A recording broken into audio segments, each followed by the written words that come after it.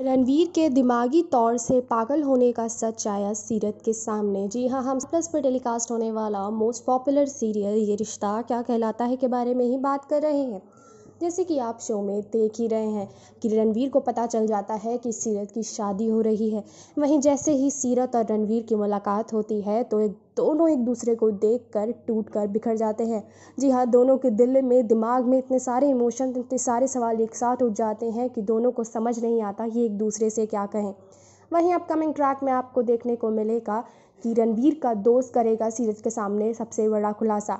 जी हाँ रणवीर का दोस्त सीरत के सामने उसे बताएगा कि उसकी शादी टूटने के बाद से ही रणवीर के दिमाग पर बहुत बुरा असर हुआ है, जिसके बाद रणवीर सीरत की यादों में इस तरह से डूबा रहता है कि जैसे कोई पागल हो।